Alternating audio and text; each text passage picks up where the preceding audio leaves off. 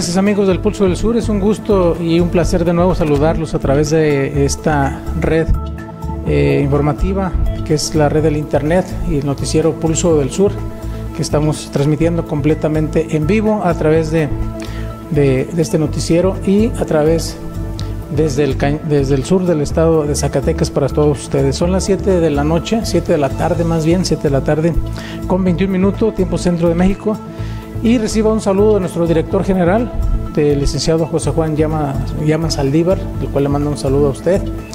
Del área, del área técnica, de parte de Fernando Lujano, que está en los controles técnicos, también recibo un saludo. Hoy en la cabina de Pulso tenemos a, dos conocidos, a dos maestros. El primero es el profe eh, Héctor Pascual Gómez Soto, profesor, es cronista del municipio de Jalpa. Profesor, bienvenido. Esta es su casa este, su casa y cuantas veces quiera, aquí, tiene la, invitación. También tenemos al maestro, el profesor Jaime Arámbula Rodríguez, él es presidente del grupo Amigos del Museo. Con él vamos a, con ellos vamos a platicar sobre varios temas, dos temas importantes. Eh, el primero, este, Jaime, presidente del grupo Amigos del Museo. Sí, este, muchas gracias por la, la invitación, por el espacio. Este, agradecerle aquí al director de, del Pulso del Sur. Siempre su atención al equipo de trabajo, a usted. Este, eh, estamos ahorita desempeñando una función como director, de, como presidente del, programa Amigos del Museo, el cual inicia, inicia y tiene grandes eh, planes para el futuro. Esperamos este, seguir teniéndolos al tanto por este medio y los diversos medios de comunicación y les platico un poquito de la historia de, este programa que, en anteriores eh, ocasiones se había pretendido formar y en esta ocasión se retoma, se retoma esta iniciativa muy atinadamente por el profesor Héctor Pascual. Eh, nosotros como amigos del museo pretendemos apoyarle en las actividades de difusión. Es muy importante que todo el municipio tenga eh, conocimiento de la historia y la cultura que es muy vasta, es muy amplia, y a veces y de repente muy poco difundida, entonces pretendemos nosotros, eh, en este caso yo como presidente y, los colaboradores que contamos con nuestra mesa directiva, apoyarlo, apoyarlo en lo que, que se planea para en un futuro. Nuestro municipio cuenta con una riqueza cultural e histórica este, que no se conoce, ¿verdad? Y es el plan de nosotros, trabajar y lograr que, eh, lograr más que el municipio, el pueblo de Jalpa se sienta orgulloso de sus raíces como municipio, a la vez como, como estado de Zacatecas y del país, ¿verdad? Cada uno de nosotros contribuyendo desde, desde nuestro quehacer. Así es, bueno, pues felicidades Jaime por, por este nombramiento que se te da. Eh, presidente del grupo. Profesor, por fin este, uno de sus proyectos ya, ya se ve cristalizado, se ve con esto. Eh, háblenos, ¿cuánto tiempo tenía este proyecto? Pues mira, este, el proyecto de Amigos del Museo empezó con un grupo de, de profesionistas, pero de repente se fueron todos a estudiar y ya nos dejaron solos, ¿verdad? Cada quien agarró su rumbo y nos dejaron solos. Ya el museo tiene más de 20 20 años. Y eh, dijimos, bueno, vamos a volver otra vez a, implementar amigos del museo. Invitamos a nuestros amigos personales, amigos que siempre hemos platicado sobre el museo, sobre muchas actividades. Y pues se dio la, la química y este, hicimos una reunión y ya de ahí surgió este grupo Amigos del Museo que va a apoyar en todo lo que se pueda al Museo Comunitario. Entonces es un logro más del Museo Comunitario. El Museo Comunitario tiene su grupo coadyuvante de Lina, que es una junta vecinal que es los que se encargan, en este caso, de preservar los materiales que están ahí, pero ocupábamos un grupo de amigos del museo para que nos impulsaran más. Bueno, pues este, ¿quién más está en, la mesa directiva, Jaime? Sí, este, tenemos como presidente a su servidor, profesor Jaime Arámbula como secretario a Rafael, Rafael Carreón, y como tesorero a la señorita Almadelia Rodríguez, que forman parte de la mesa directiva y contamos con varios vocales, ¿sí? todos con una disposición muy, muy favorable para trabajar. Sí, Jaime, la labor en sí de este comité hacia el Museo Comunitario, así rápidamente, ¿cuál es la, iniciativa, cuáles son los proyectos, cuál es el, funcion, el funcionar de, esta mesa directiva hacia el museo? Más que nada, eh, debemos de, tener muy en cuenta que el principal objetivo es promover la cultura e historia. Y no hay mejor que lugar que para que los niños y las personas de todas las edades, de todas las edades conozcan la historia, que por medio del museo comunitario, que es una gran ventaja el tenerlo, no en todos los municipios lo hay, ni tiene los elementos, los materiales, los documentos que tenemos aquí. Entonces es muy importante desde ese punto de partida hacer visitas, visitas, programar visitas para las escuelas, eh, personas en general, y de ahí pues eh, tomar diferentes acciones para promover eh, las visitas y el conocimiento de nuestro estado en sí como, como parte cultural e histórica de la historia de, de Zacatecas y del país. Sí, profesor, ¿cuántos años ya con el museo aquí en el municipio de Jalpa? Pues desde 1986 aproximadamente. Tenemos ya el museo.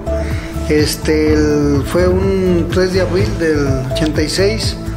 Eh, nosotros empezamos a, a, tener colección de esto, partió de la idea de una colección que estaba en la Biblioteca Pública Francisco García, donada por el maestro Arturo Reyes Miramontes, pero ahí estaba muy descuidada.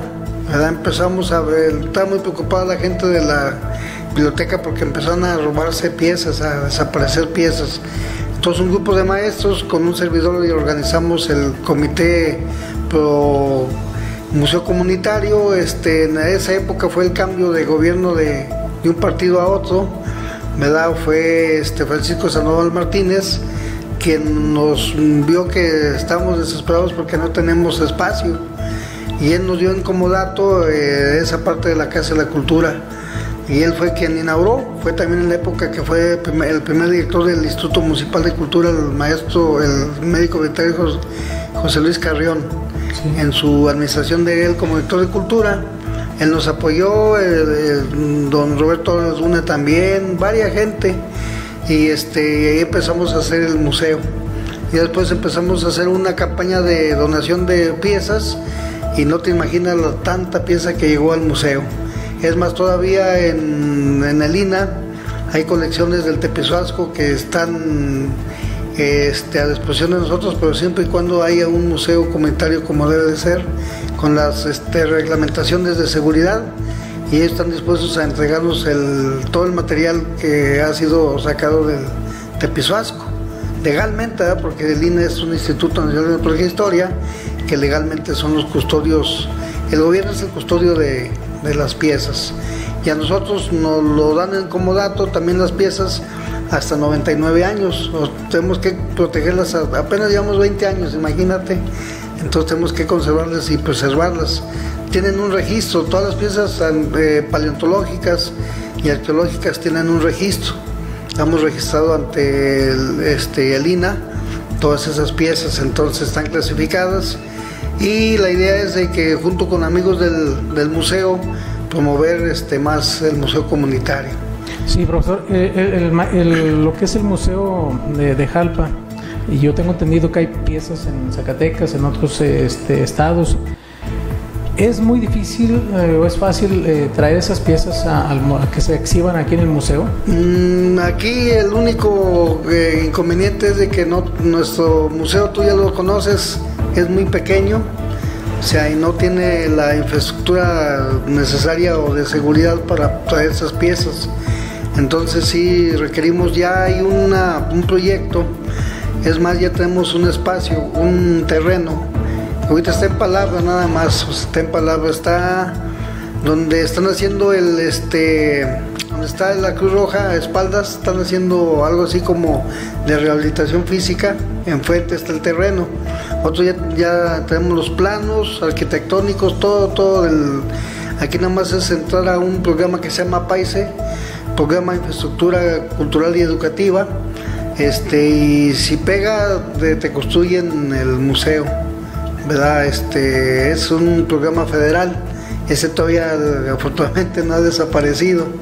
Entonces, este, la idea es de que el próximo año vamos a meter el proyecto Paise con amigos del museo y el, grupo Coyuante Lina para que si pega, pues este, ya vamos a tener un museo como debe de ser. Ahí mismo, eh, quien también está muy interesada es la regidora, esta nena Ibarra Bautista. Ella también trae la idea de ahí mismo en el museo hacer la, la casa del artista, donde haya talleres de pintores, de este, artes plásticas, para que ahí tengan, una exposición permanente los pintores. Aquí tenemos varios, ¿verdad? Entonces también darle impulso en este caso a, esta gente y, tener un museo integral, ¿verdad? Con varias piezas. También una de las ideas es que una de las salas va a ser una sala que se va a dedicar específicamente a los, a de la región del Cañón de Cuchipila.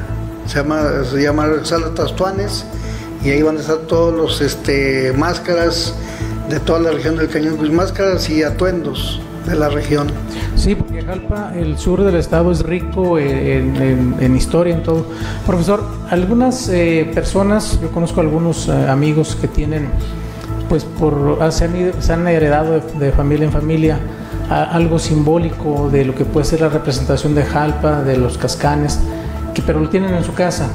Eh, si los quieren donar al, museo, también eh, los, Sí, este, ahorita nosotros estamos detenidos en la cuestión de colección porque eh, sería bodega.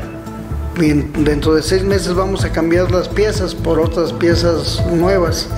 Entonces sí, o sea, estamos ahorita en, en vísperas de que si la gente tiene algún objeto interesante en su casa, nosotros hacemos el registro, nosotros tenemos un formato de registro de, ya sea, tenemos tres formas. En comodato, que puede ser el tiempo que ellos escojan, un año, dos años, seis meses. Seis meses a dos años o tres años. Otra es donación, donación ya de la pieza, total. Y otra es, pues sí, la donación. Entonces ya, este, donación y registro ante Lina. da Entonces, la idea es esa. Mira, este, la cuestión de, que extraes piezas de, de los lugares es un delito, es un delito. Entonces lo que hacemos los museos es procurar que esa gente que muchas veces lo, encuentran fortuitamente, andan sembrando o andan este, levantando la tierra y se encuentran una pieza y a veces no la llevan, pero este, si ya vas tú con la intención de buscar, es un delito que se castiga con cárcel y con salarios mínimos. Entonces nosotros le proponemos a la gente que, que si son gustosos pueden donarlo al museo y también, sinceramente, yo les digo, miren, este, si quieren una pieza, se va a ver bonita en su casa, pero nada más la van a ver la familia y ellos.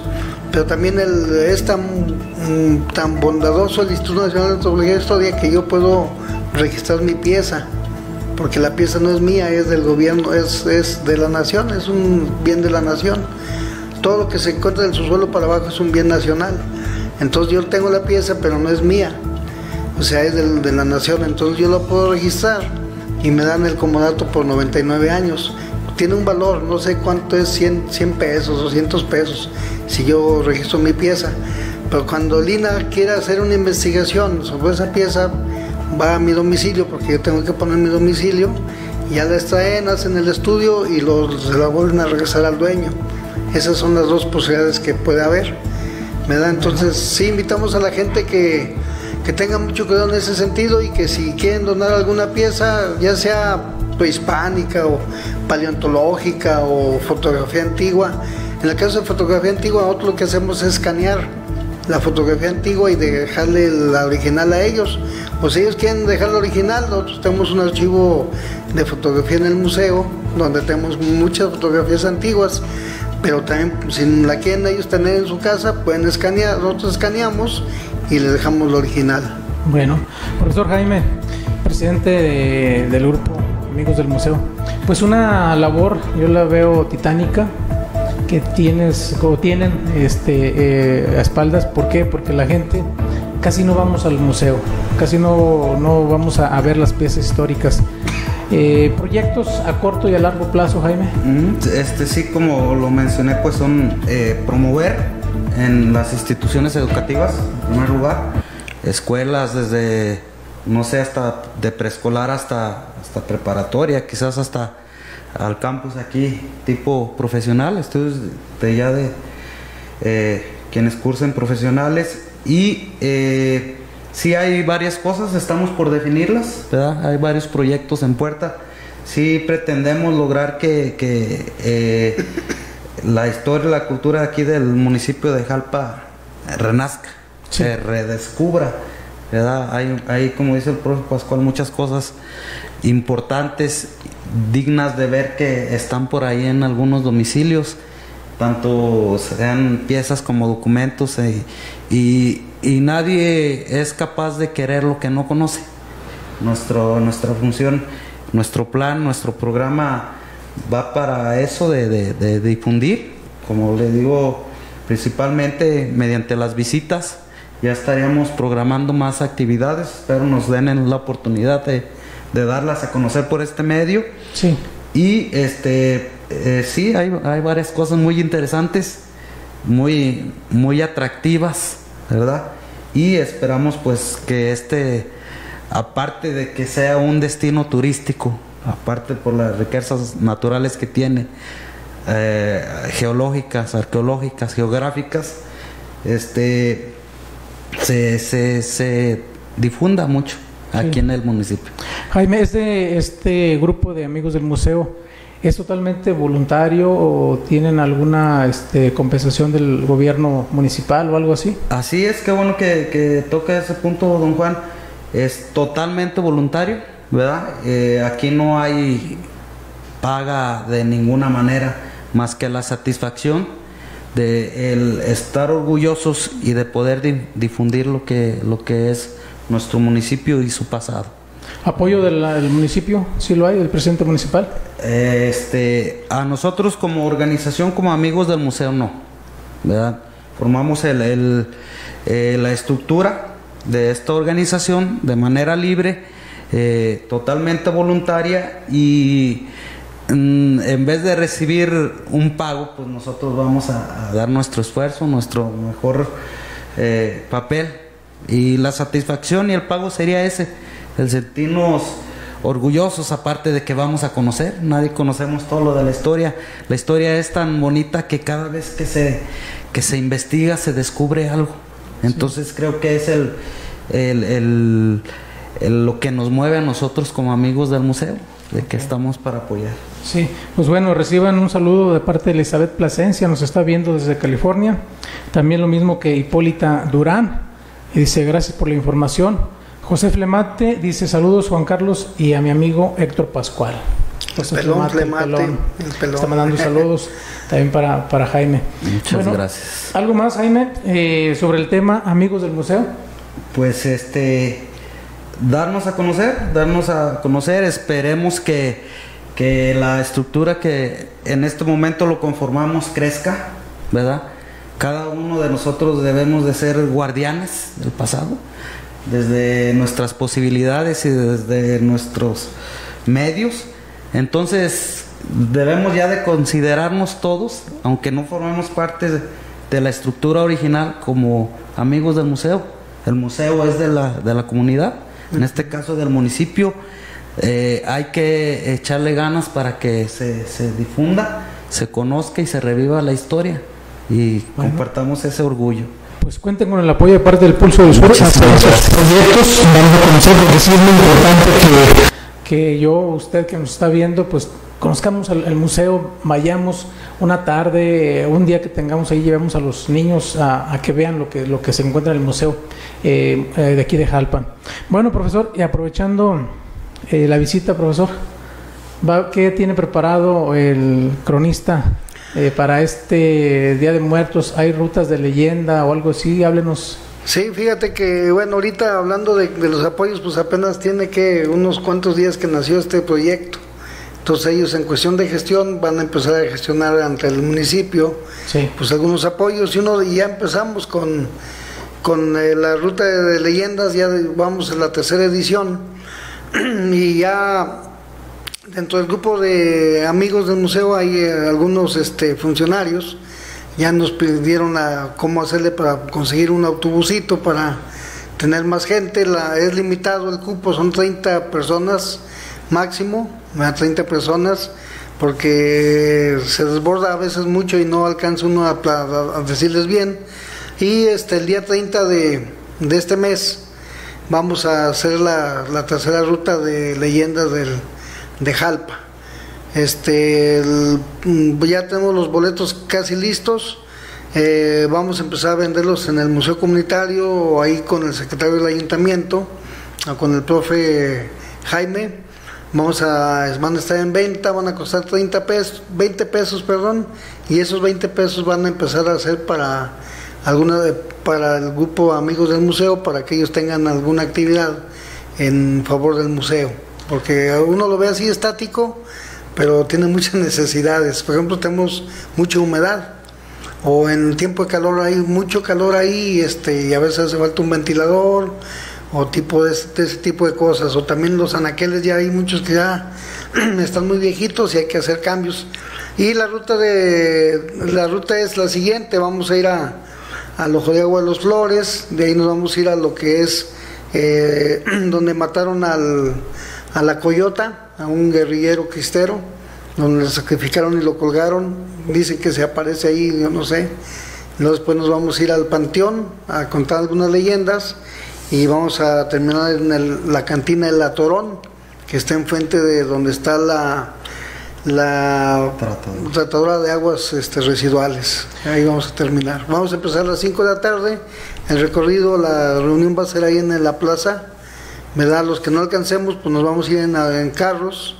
Ah, bueno, los que la gente que no tenga carro o en qué moverse se va a ir en el camioncito. Y los que tengamos carros, nos vamos a ir en el carro y vamos a apoyar a alguien que se vaya con nosotros. Bueno, entonces 5 de la tarde inicia la, la ruta y este, termina a qué horas?